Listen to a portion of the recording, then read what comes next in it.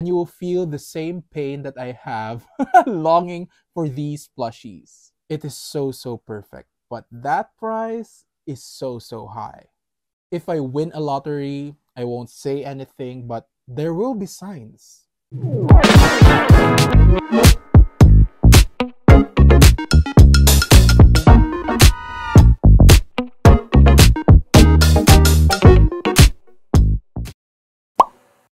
Hello, it's me, Mimim, and welcome to my world. So for today's video, I'm going back to one of the main reasons why I started this channel. Of course, making vlogs of my experiences, of the events that I go to, unboxing multiple collectibles and a lot of merchandise is part of this channel.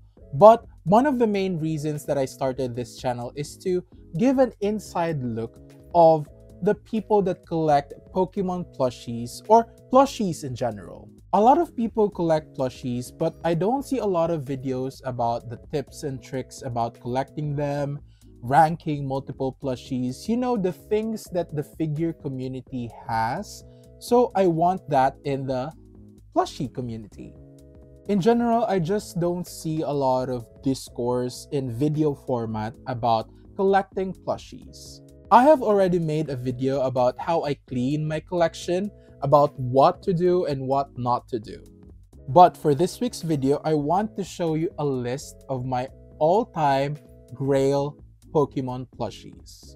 These plushies are not in my collection and probably will not be in my collection because these plushies are very rare and mostly so so expensive.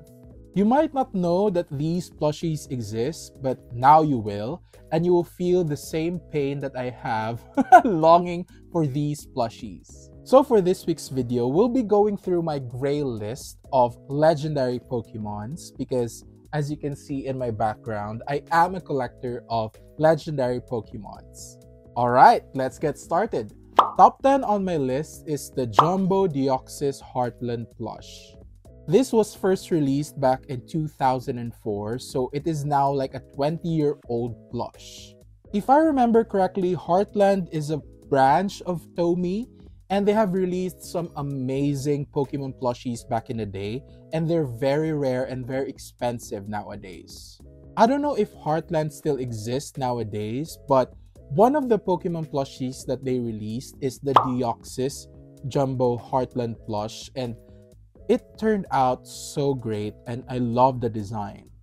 Last listing that I saw of this one sold for 66,666 yen. It is in good condition but it doesn't have its paper tag. So if it's like in a mint condition with its paper tag and all, it could be higher. Top 9 on my list is the Shaymin Skyform Daisuki Club Plush. Just to give you guys some context, the Pokemon Daisuki Club was established back in January 2004. It was a fan club including the video games, TCG, anime, basically everything that it has to do with the Pokemon franchise. It had an annual fee and they would receive a membership card that they can use in multiple events in that year. If you want me to create a separate video about the Pokemon Daisuki Club, let me know down below. So Shaymin Skyform is one of the plushies that they gave away to their members. It was not for sale and it was limited to around 400 pieces. Last sold listing I saw this one sold for around 77,777 yen. I don't know what's the obsession of Japanese people with repeating numbers, but yeah, it sold for that much. And this one was in amazing shape and the paper tag was still intact. So maybe you can find one that has no paper tag and in a worse condition for lesser. Top 8 on my list is the Arceus Daisuki Club Plush. Just like the Shaymin, this was also from the Pokemon Daisuki Club. It was given away and not for sale. The Arceus and the Shaymin are Pokédoll DX plushies, and Pokédolls are this specific type of Pokemon plushies that are like Funko. They have this chibi kind of look and have a bigger head on them. And they're called Pokédoll DX because they're the bigger version of the Pokédoll plushies. The Shaymin plush was released at around 2008 and the Arceus Daisuki Club plush was released at 2009, so a year after Shaymin. I saw one for sale like a year ago, but looking through the listings, they already deleted their listing. But I put this higher on the list because it's rarer for me to find a listing of this one rather than the Shaymin plush. Now top 7 on my list is the Mew Pokemon Unite plush. This was announced for the first ever Pokemon Unite anniversary.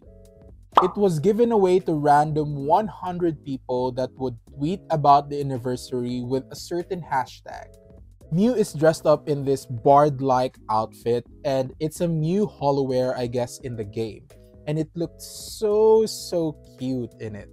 This was the first ever Pokemon plush giveaway from the Pokemon company that I could have joined in because this was released back in 2002 while I was already collecting. But it is Japan only and I'm not a lucky person in general, but yeah, who knows?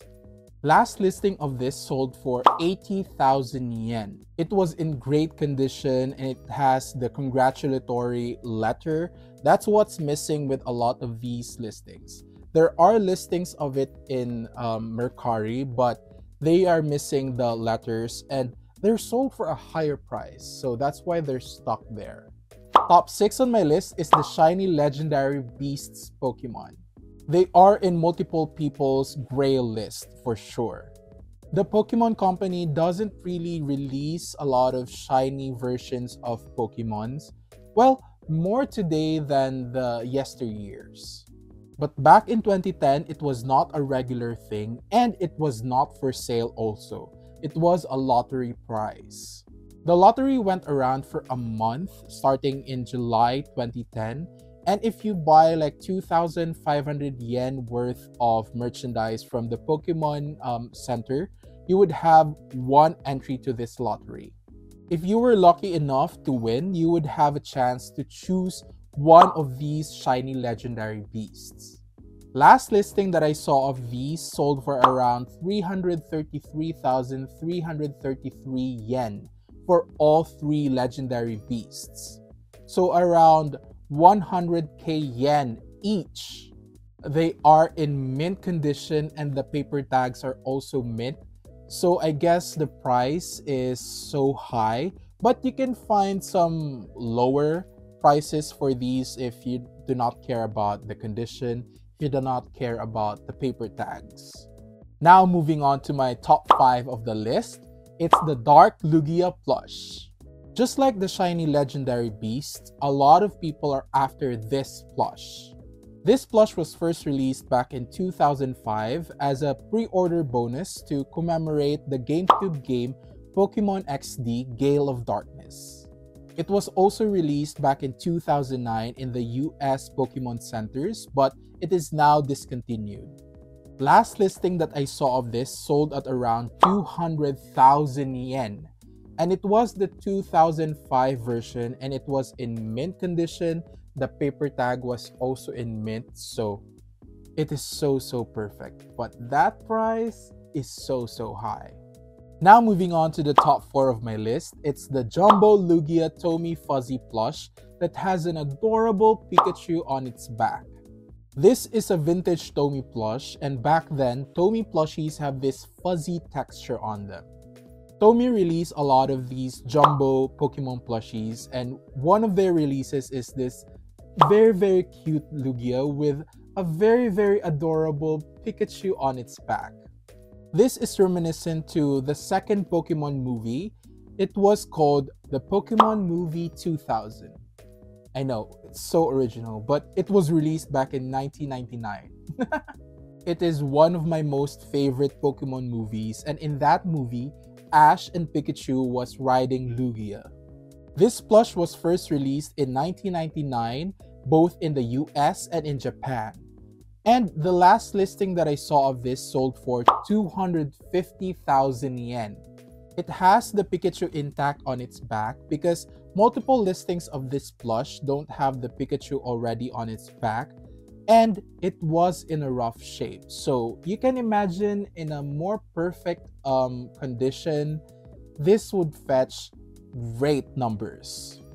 Now we are entering the top three of my list, and these are the grails of my grail. And these are unattainable plushies, but one can hope, you know? Top three on my list is the life-size Zeraora plush from the Pokemon Center. This is one of the more modern plushies in the list, but the price of this is off the roof. It was first up for pre-order back in September 2018. I wasn't collecting by then, I was still starting to work and I didn't know about it because if I knew about this, I would have bought it in a heartbeat if I have the money. But yeah, but I also didn't have my connections now. I didn't know how to pre-order this from Japan. It was up for pre-order for around 50,000 yen. And if I had my capacity now, back then, I would order this in a heartbeat. The last item that I saw of this was listed at around 300,000 yen and it was up for bidding. So that was just the starting bid.